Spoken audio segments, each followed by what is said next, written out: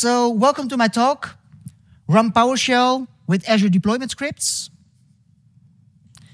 First of all, many thanks to all our sponsors. I hope you all enjoyed the community dinner yesterday. I for sure did.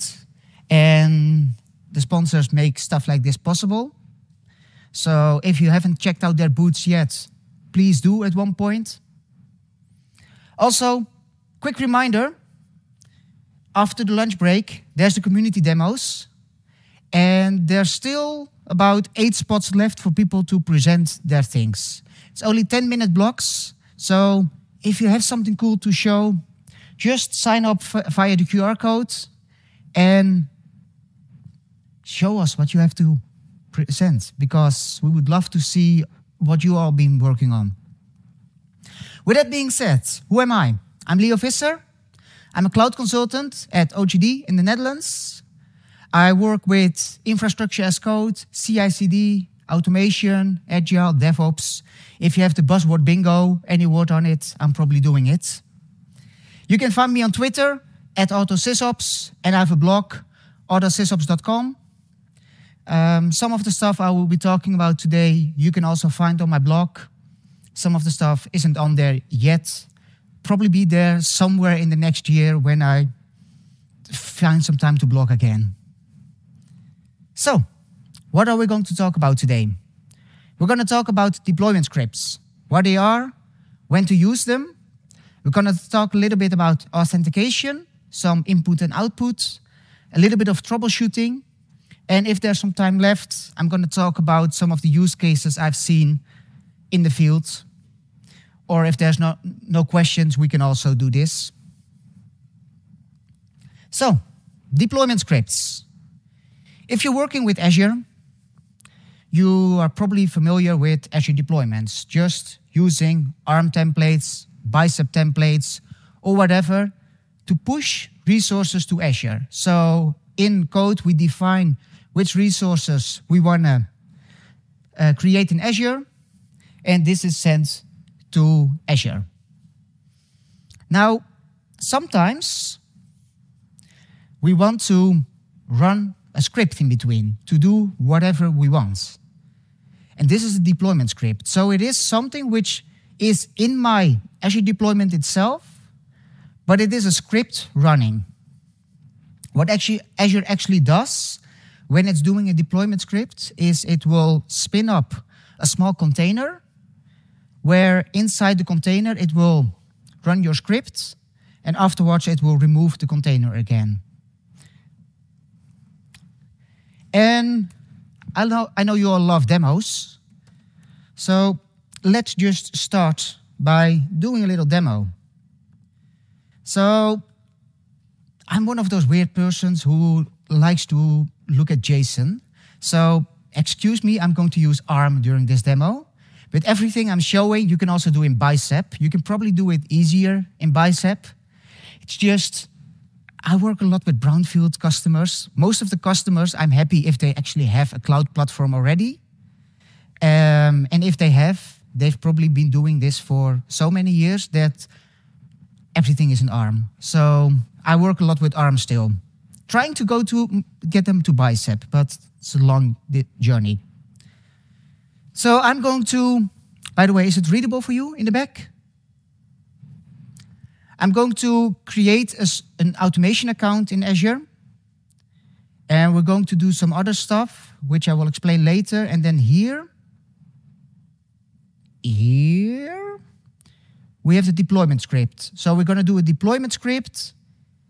It has some different stuff inside it, and it will run a script. I will explain what's exactly happening during the course of the next few minutes. But let's first start it because everything in Azure takes time. So while it's running, I can then talk a bit more. You might notice I'm using template specs. For people who don't know template specs, it's a way to store your ARM templates in Azure, a little bit like also the marketplace. And from here, I can just press deploy. It will give me a nice um, form where I can say, well, what's the subscription, the region, and let's create a new resource group to deploy our stuff to. It's going to validate it. And it's going to create it. So while this is running, um, what I'm doing now is I'm starting this deployment. You see some of the stuff goes quite quickly. So it created an automation account, so managed identity. And now at the top, you see it did the deployment script.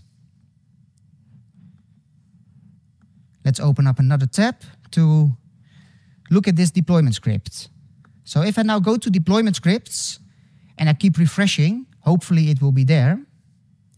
So you see, it created a resource called deployment script. This is a specific resource in Azure.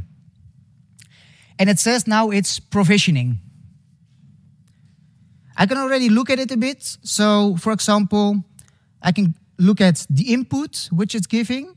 So I'm giving it some kind of parameters. I can look at the script which we're running. And eventually I should be able to look at the output. And this is still running. So while this is running,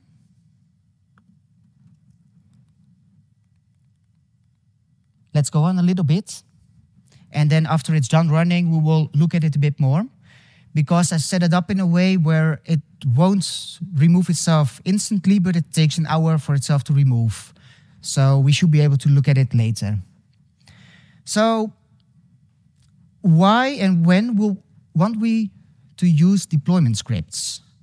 Because we could just make an Azure DevOps pipeline, for example, and run some PowerShell in this pipeline and then take the output from this script and use it in our ARM templates as, for example, a parameter. Well, sometimes um, I want to make something, for example, for the Azure Marketplace, and I just need to have one big uh, template, and I can't make create like a whole pipeline.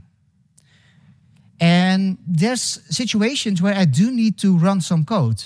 For example, the use case which Microsoft often uh, says, adding delays. Sounds stupid, but sometimes you create, for example, an identity or an app registration. And we all know that Azure seems quite fast, but if you created something and you're instantly going to request access to it, it's all asynchronous. So if you're unlucky, you go to a different server or a different endpoint and it's not there yet and then your whole deployment fails because it can't find it and things break. So with deployment scripts, you can create a step in between to just run a script which says wait for a minute and then continue. Another one is calculating some values. We're going to look at this a bit later also, but sometimes you need to calculate some values inside your script. For example, dates, which will be different every time you run this deployment. And there's also some stuff like the one I'm doing now. In the script, I'm do what I'm doing now, which is running. I'm pushing a PowerShell script to an automation account. So I'm setting up an automation account and I want to have a runbook inside this automation account. I could use like a Git integration for this, but some customers they don't have these Git integrations or they don't want this to be connected. So inside my template, I have a script and I'm pushing this script towards it. So we can now look a little bit better at the code. So here we see the script content and it's very hard to read. So just let's just look at it in Azure. Here we see the script again, and I should be able to zoom it a bit more. Yes. And here we see that it does some get AZ context to know for sure I'm in the right subscription. And then it does an import automation runbook. And I've created like a very small script, write host hello world, which is stored in a file. I'm running in a container, so I can actually use a file system and I'm pushing this one to my automation account. So we should be able to see that it's done now. Yeah, it says, says succeeded. So now I should be able to go to my automation accounts.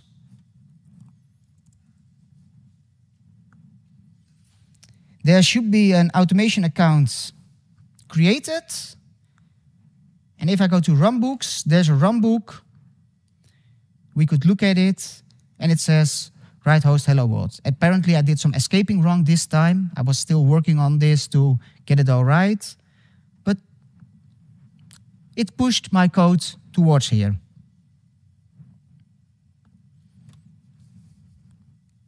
So the deployment scripts, they're both supported in ARM and, and, and, Bicep, as I said before.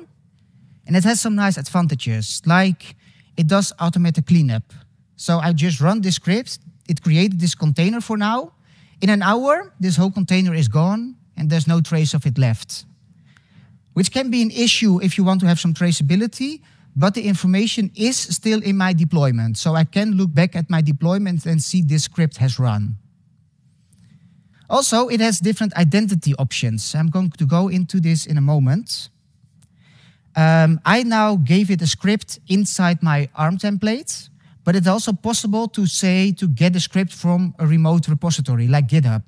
If you have a public GitHub repository, you can say just give the URL of this script in the GitHub repository, and it will use this script. It will get it and run it. And one of the nicest features, AZ PowerShell, is automatically included and will also automatically connect using the uh, managed identity. This one I already showed. Because if we're going to look at authentication, these deployment scripts there have their own managed identity. Some of you might have been to the talks, I believe it was on the first day about the state of secrets. And from what I understood, managed identities were also mentioned there. And with these managed identities, we can do a lot of stuff. It has also the option to use user-assigned managed identities. And this is what I'm doing in my deployment script. So now we can go back to one of the things I skipped over quite quickly. So what I'm doing here is I'm creating a user-assigned managed identity.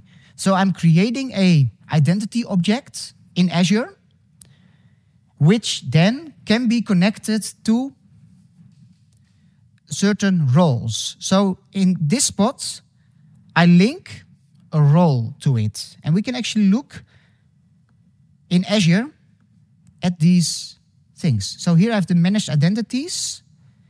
This is the managed identity I created. And we should be able to check its role assignments. And we see that it got the automation contributor role in this specific resource group. So I can set the scoping, I can set the different roles. I can also create a custom role and link this custom role to this managed identity, all in my template. And because this identity now has the automation contributor role, the deployment script we have here is allowed to actually access this automation account we created. Because by default, it wouldn't be able to access it because it is a managed identity, but it is a managed identity without any access. So in here, in the deployment script, I set the type to user assigned identity and I linked the identity we created to this deployment script. So this deployment script was running under this managed identity. Now, in my setup, it won't delete the managed identity afterwards, but there is ways in way uh, where you can also, for example, delete the managed identity. You could wait until the deployment script was done, and then delete the managed identity again, for example. Also, maybe it's not such a problem that this managed identity is here, especially if we're going to look at some later use cases. How are we for time? It's going so fast. So there's also input and output because we're running a script. And if we're running a script, you saw me already giving it some input. I gave it like a subscription name, I gave it a resource group name, so I can deploy it to the right automation account. But sometimes I want the output. For example, the next ARM template I'm going to do, I want to create a schedule in my automation account. So I want to schedule the runbook I just created to run every hour. Some of you might have created a schedule before. And one of the problems in Azure is if you want to create this schedule, the start date always needs to be in the future. You can't say the start date was January 1st, uh, 2000 at zero hours. It will say invalid. So if I want to create a schedule with this runbook I created, and it has to run every hour, I need to find the first hour after now where it should start. Because if I say start now, it won't be running exactly on the hour. And often I want to control where it's running. So this is a nice use case for deployment scripts if I want to have it in one big deployment.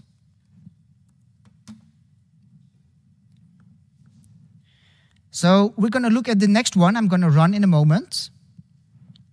So we're going to run another deployment script. This one doesn't have an identity set to it because I'm not going to access any resources. It's just a script running. That's all. I've, it, I've given it a name, get first hour. And here we have the script content. And you'll see I'm using a parameter, deployment script outputs. And I've given it here text. I've picked text because this is the one which is used in the demos from Microsoft. In the help files from Microsoft, it uses text. So this is why I use this. But you can fill in whatever you want here.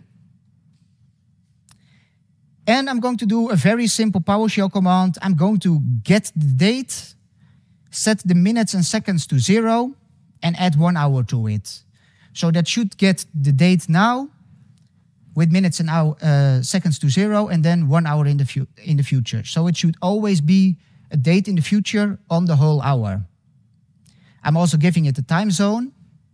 This should work, but we'll see that with Azure Automation, it's still a kind of a trick, uh, problem. And then I'm going to create an automation schedule where I'm setting this start time to the outputs text. So I'm taking the output from this deployment script and I'm using it. And afterwards, I'm also going to create a job schedule where I link the schedule and the runbook together and make it as one.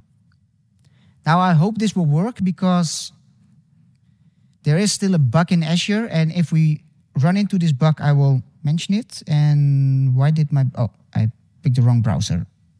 Excuse me. This is the one we need, yes.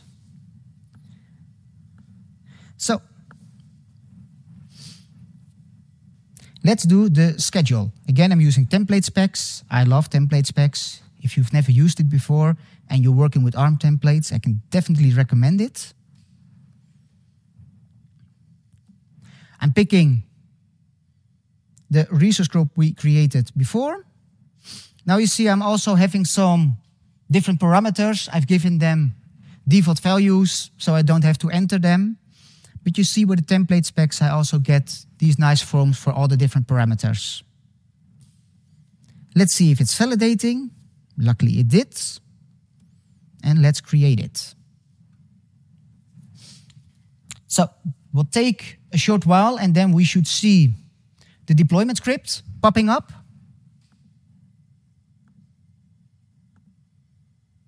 And any moment it should appear here too. If you do this too often, look, there it is.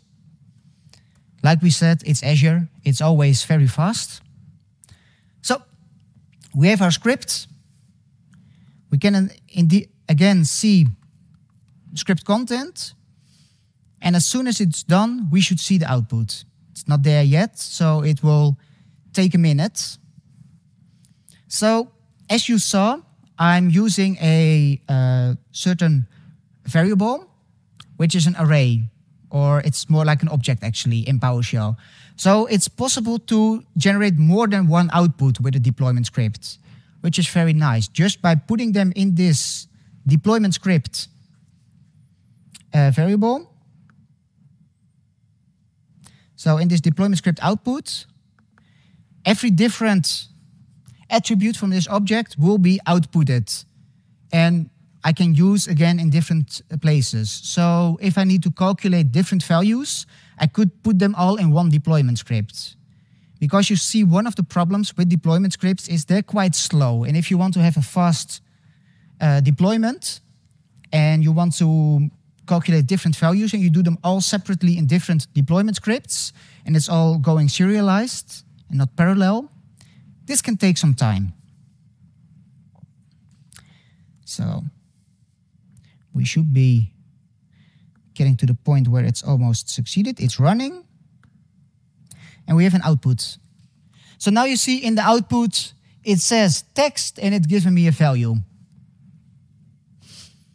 Now let's see in our deployment, how it goes here. It's still working because well, deployment completed. So it was first a deployment script and then it created two more things. So if I'm going to my automation account now, we had a runbook before. It now says an edit because I didn't close it correctly. We should now have a schedule. And if we look at the schedule, it says that the next moment is 2 o'clock. This is the thing I was referring to. I created the time in, in Dutch Amsterdam time, but then for some reason ARM is still picking it up as UTC, then storing it in UTC, and then an automation account, because I have the time zone here, is still converting it again. So depending on your daylight saving and stuff, it can differ a bit. I believe with Bicep, this is fixed a bit better. But um, in this way, I know by making it a Dutch time in the script, I know for sure that it will always work depending on the daylight saving if you look at it, dive in this, into this a bit more, and it's really necessary that it's always exactly the next hour when it's starting. It is possible. I was just too lazy to get this exactly right because I just wanted to show you. And we also see that the runbook here is connected to this schedule.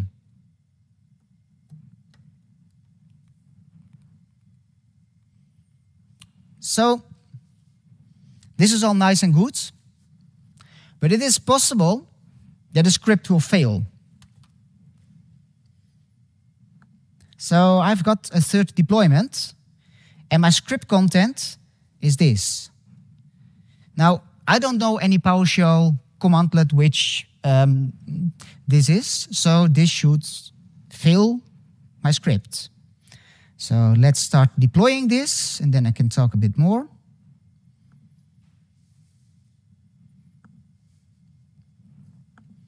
Let's deploy it to the right resource group.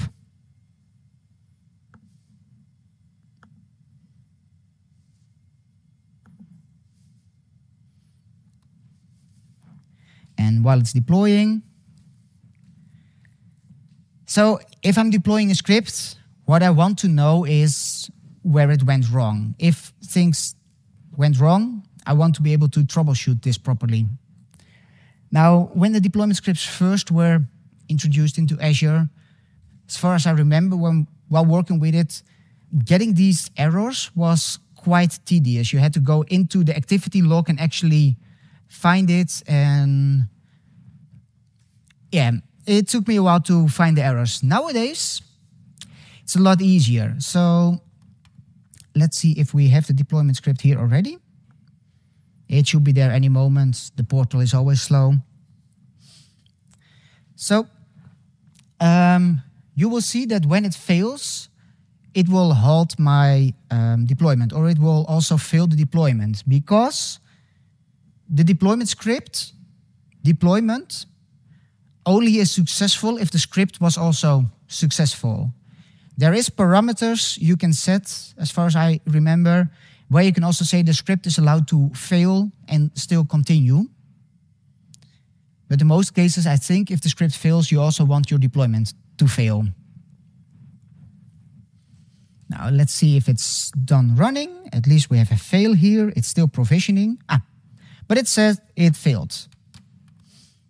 So we can look at the script content, blah, blah, shouldn't work. And nice and easily in the overview, it already said it failed. Click here for more details and I get the full PowerShell error already.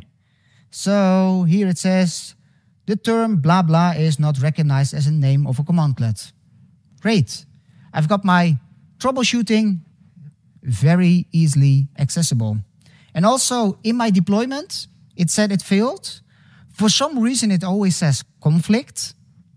Don't ask me why. But if I check the error details, again, here we also have the problems.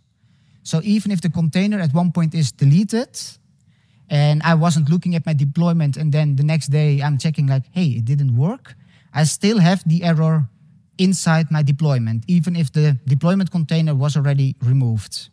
Can also look at the raw error.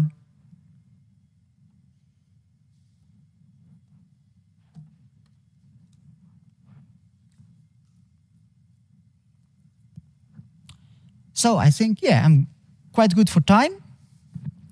So the last part is, this is all nice and good, but how, when did I use them in practice? In the field, are there any reasons to actually use these deployment scripts? One of the reasons where I first encountered using them was actually in policy remediation scripts. So you can create Azure policies, which will check your resources if they are correctly and fit to the policy description. And I had to make a policy which would tag certain resources based on if they were behind a load balancer or not. And this became quite complex quite quickly by checking different uh, attributes. So the normal policy remediation options to set a tag were not longer possible because I had to set different tags depending on uh, if they were behind the load balancer or not. So this is when I started using the deployment scripts the first time because also a policy remediation um, afterwards is actually just a deployment. It does a deployment. So you can use deployment scripts. So if a machine didn't have the right tag, it would spin up a container run a PowerShell script which would check everything if it was correct and set the right tag with the right properties. And by using a system or a user assigned identity, I could make sure that this uh, deployment script will always have the right permissions to change these VM tags. I was using least privilege access, so I was also creating like custom roles. It became a very big script, but it's nice. The other one was kind of like what I showed before. We were setting up update management in an automation account, like the update management v1. And we had a lot of resources behind load balancers. And sometimes update management has to shut down a machine for updates. And if they're behind a load balancer, you don't want to shut them down before getting them out of the load balancer or a one way tell the load balancer not to send messages to them anymore. So we created this automation account and we pushed scripts to it to make sure that before a machine was uh, shut down, it would first be removed from the load balancer, and after it was done updating, it would be added back in the load balancer. And these scripts were in this uh, ARM template and then pushed by a deployment script, like I showed before. Now we did it a bit more fancy um, this customer didn't want to have the Git integration with Azure. So what we did is we had the scripts inside uh, a place where also the ARM templates were and from where they were deployed. And these scripts were first converted to base64. So they could be passed as parameters to the ARM template. These were then passed as parameters to my deployment script, and inside the deployment script, we would convert them back from base64. So we had a proper script, which was stored on disk, and then from disk sent to the automation account.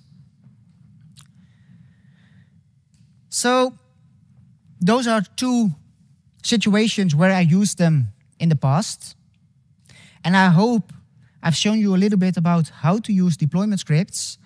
And maybe you will also at one point remember, hey, they're a nice thing to use. Uh, in a situation where it's like, I don't know what else to use, this might be your way out to get it working.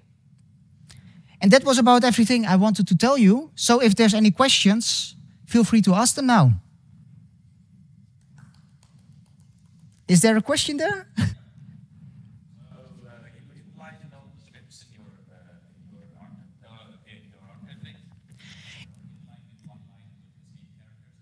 yeah, in this situation, I inline them all with escape characters.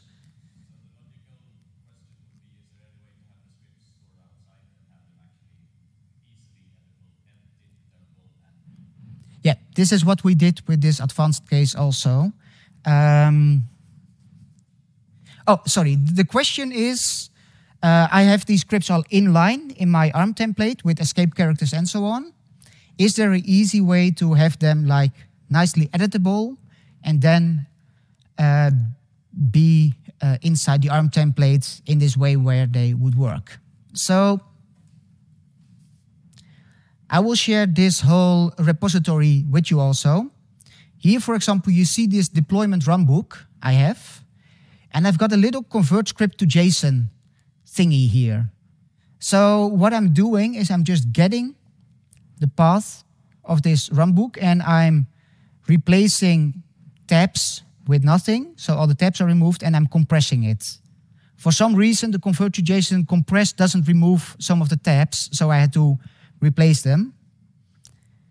This is just a small example, but you can also integrate this in like a pipeline or whatever. So they can be passed as parameters to your ARM template. So you can have these scripts, and when you run it, you as uh, parameters, you just have like run this script, and this is the input script, and then it will convert to a JSON file, which is exactly the format it needs inside your ARM template. For Bicep, I think it should work the same, but maybe for Bicep you could even use like script blocks or whatever.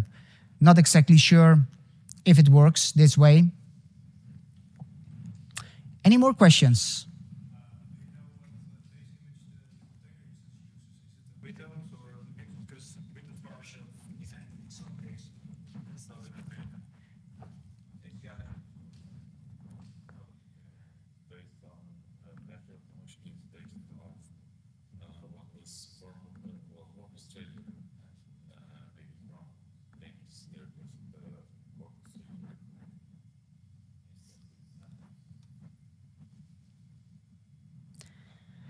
Um, so the question was what kind of container it's using. In the audience, it was already said it's not exactly a container.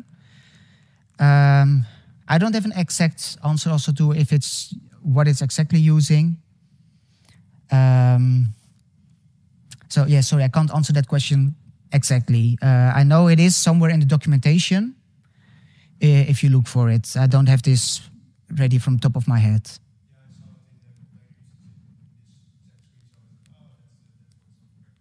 Yeah. Yeah, if you check the container instance, which is already removed, it should give you more information.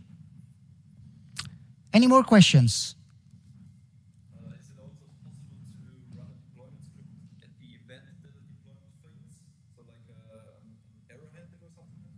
So the question is, is it possible to run a deployment script when something fails? Um, this depends on uh, the deployment language you're using. Um, as far as I know, in ARM, it is possible to run something if something else fails, so you should be able to.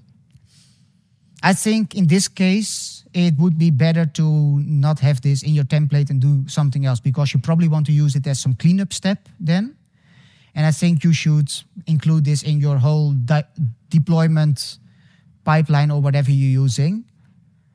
Um, but yeah, it, it should be possible. More questions? Then I thank you all for listening and uh, maybe we're, we're first in line for the lunch. Thank you all.